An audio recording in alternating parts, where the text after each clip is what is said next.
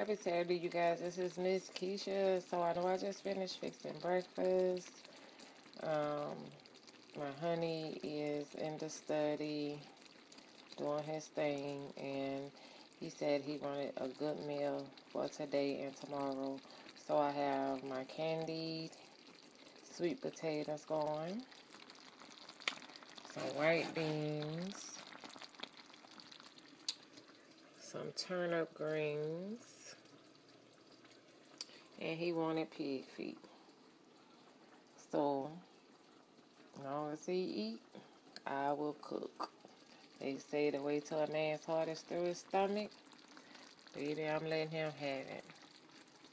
And last night, y'all know I made him the banana pudding cake and what he loves. Hope you guys have an amazing day.